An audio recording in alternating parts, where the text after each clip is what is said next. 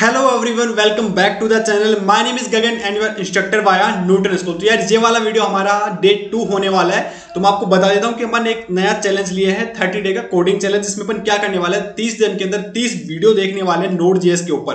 तो अपन complete node JS का ट्यूटोरियल होने वाले हमारे इस थर्टी डे कोडिंग चैलेंज के अंदर। तो ये हमारा डे टू है।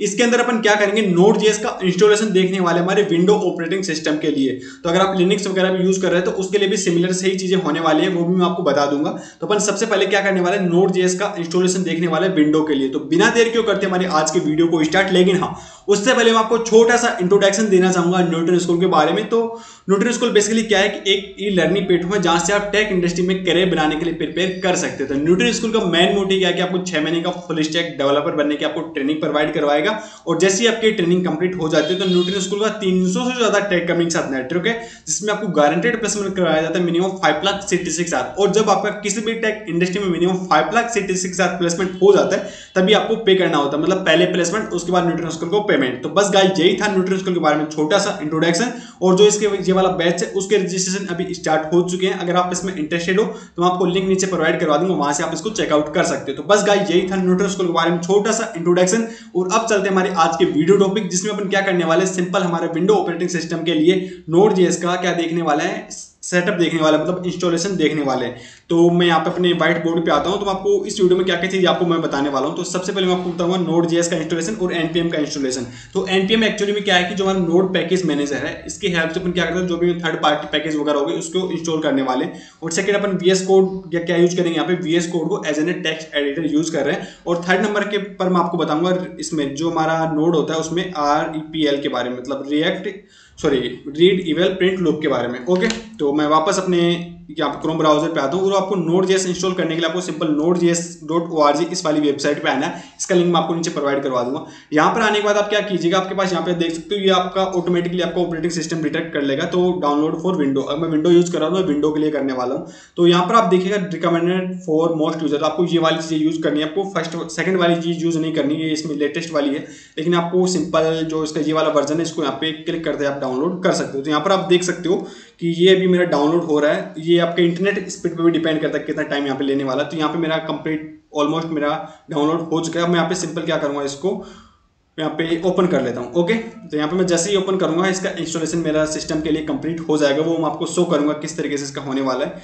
तो यहाँ पे जैसे ही मेरा कंप्लीट होता है, तब मैं वापस इसको, इस पर क्लिक करके इसको मैं इंस्टॉल कर लूँगा मेरे ऑपरेटिंग सिस्टम के लिए। ओके तो आप जैसे वहाँ पे क्लिक करेंगे तो आपके पास इस तरीके से यहाँ पे ये वाली चीज़ें आने वाली है। Welcome to node J setup इस तरीके से करके। ओके और फिर आपको यहाँ पे बाई डिफ़ॉल्ट जो चीज़ें आ रही है, उसी को सेलेक्ट करते जाना है। आपको खुद से कोई भी चीज़ें ऐड नहीं करना है। तो आप मैं सिंपल करूँगा नेक्स्ट पे क्लिक करूँगा।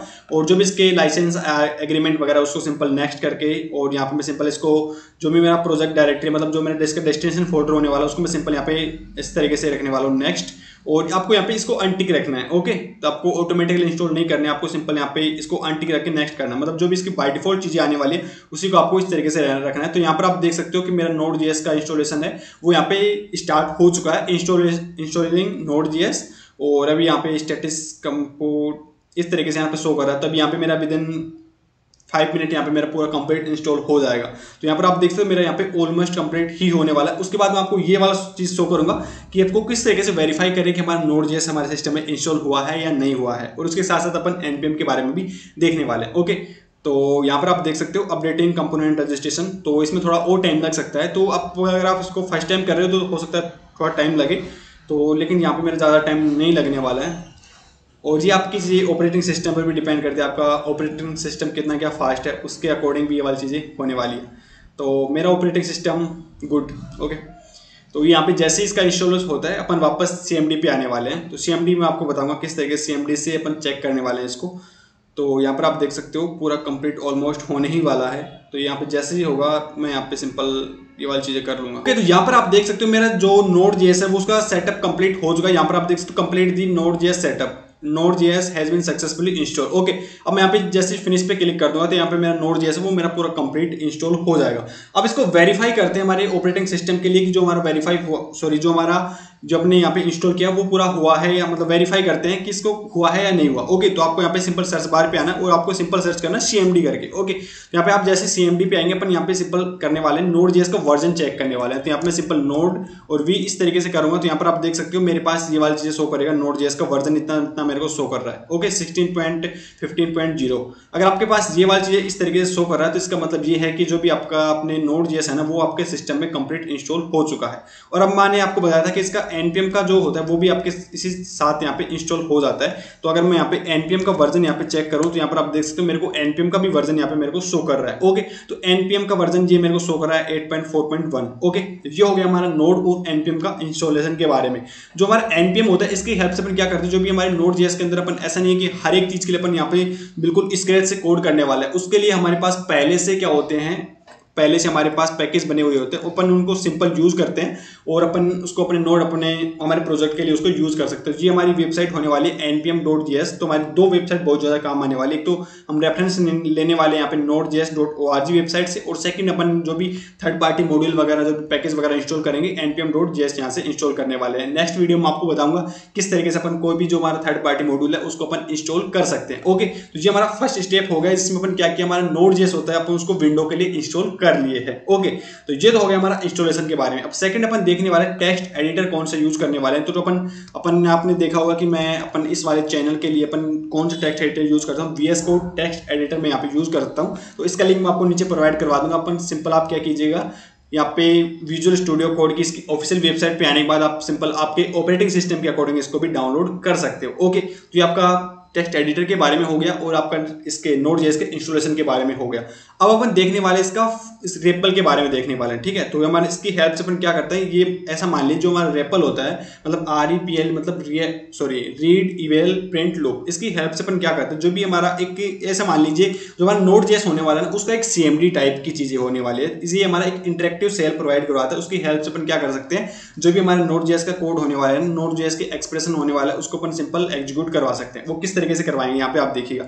आपको सिंपल इसमें रेपल में आने के लिए आपको सिंपल यहाँ पे नोट इस तरीके से टाइप करना है तो यहाँ पर आप क्या करोगे, इस तरीके से आप इसके नोट जेएस के अंदर रेपल के अंदर इस तरीके से एंटर कर जाओगे। तो अपन इसके अंदर सिंपल जो भी हमारे जावास्क्रिप्ट के एक्सप्रेशन वगैरह हैं, वो भी अपन यहाँ पे सिंपल यूज़ कर सकते हैं। फॉर एग्ज़ाम्पल अगर मान लीजिए यहाँ पे मेरे को दो नंबर को फोर एंड फोर को ऐड करना है तो यहाँ पर मेरे पास इस तरीके से एट आ जाएगा। सेवन डिवाइडेड बाई फाइव करना है तो इस तरीके से वाली चीज़ आ जाएगी।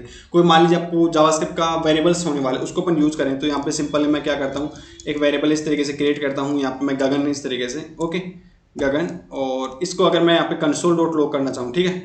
Console dot log console dot log और एक को यहाँ पे मैं इस तरीके से करूँ तो यहाँ पर आप देख सकते मेरे पास इस तरीके से गगन सोकर तो ये हो गया हमारा किसके बारे में? जावास्क्रिप्ट के सॉरी इसमें हमारे नोड के रेपल के बारे में। ओके अब अपन देखने वाले हैं, इसको तो मैं यहाँ पे अभी के लिए क्लोज कर देता हूँ। क्लोज करने के लिए आपको सिंपल डॉट एग्जिस्ट अगर आप इस तरीके से करोगे तो आप यहाँ पे इस तरीके से हो जाओगे। इसमें रेपल से बाहर आ जाओगे। ओके अब मैं आपको ये बताने वाला हूँ, हमारा फ़र्स्ट नोड के अंदर क्या करने वाला अपना एक कोड देखने वाले मतलब एक अपना फ़र्स्ट प्रोग्राम देखने वाले नोड जेएस के अंदर। ओके और आने वाले वीडियो में अपन क्या करेंगे? सबसे पहले एक सर्वर क्रिएट करने वाले। और डे टू के अंदर यहाँ मैं इसको simple open with V code कर लेता हूँ। और फिर मैं आपको इसका फ़र्स्ट प्रोग्राम इसको शो करने वाला हूँ कि अपन फ़र्स्ट प्रोग्राम किस तरीके से इसमें बना सकते हैं और इसको किस तरीके से इसको एग्जीक्यूट करवा रहे होंगे। ओके नोड जेस हो जो होने वाला वो खुद से एक अलग से प्रोग्रामिंग लैंग्वेज नहीं है। वो सिंपल हमारा as an a programming language JavaScript को ही यूज़ कर रहा होता है। ओके तो आपको सिंपल एक जावास्क्रिप्ट की फ़ाइल क्रिएट करनी है। तो यहाँ पर सिंपल एक इंडेक्स डॉट जेस फ़ाइल इस तरीके से क्रिएट कर लेता हूँ। अब मैं आपको बता दूँ तो इससे पहले अपन क्या कर रहे थे? जो भी हमारा जावास्क्रिप्ट का कोड होने वाला है, उसको किस तरीके से एग्जीक्यूट करवा रहे थे तो उसको एग्जीक्यूट करवाने के लिए अपन सिंपल एच के साथ उसको इम्बेड करें और अपने ब्राउज़र पे जाकर उसको सिंपल क्या कर रहे थे, उसको एग्जीक्यूट करवा रहे थे। वो वाली चीज़ हो गई हमारी ब्राउज़र के साइड के। लेकिन अपन नोट के अंदर क्या करने वाले हैं, जो हमारा जो कोड होने वाला है जावास्क्रिप्ट का, उसको आउटसाइड ही ब्राउज़र रन करवाने वाला मतलब अब उसको सर्वर पे रन करवाने वाले हैं। ओके तो अपन यहाँ पे सिंपल एक जावास्क्रिप्ट पे एक एक्सप्रेशन ऐड करने वाले हैं। तो ये मैं यहाँ पे कंसोल डॉट ऐड कर दूँगा।